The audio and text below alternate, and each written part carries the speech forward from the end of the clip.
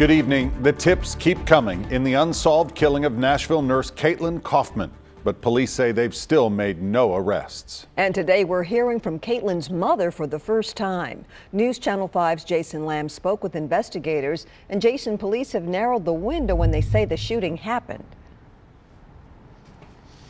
That's right. New today, police told us they now confirm that Caitlyn Kaufman was shot and killed sometime between 6:05 and 6:10 p.m. on Thursday night on her way to work as a nurse at St. Thomas West.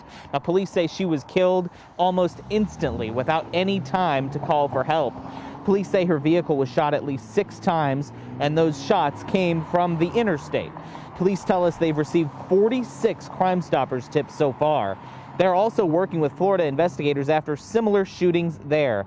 Right now, police say they do not have any suspects, but they're looking into every angle of this investigation, including those details of two men arrested in the Florida panhandle on Saturday morning after police say that two random people were shot at along a state highway there.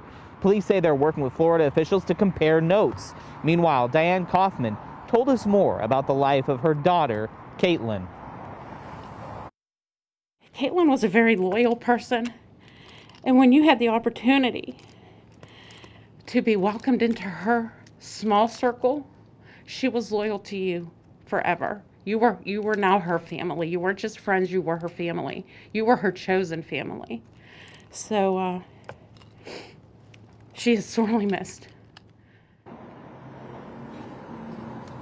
Again, police working very hard to make a break in this case. As soon as we learn any new details in this case, we'll pass them on to you. Live in Nashville tonight, Jason Lamb, News Channel 5.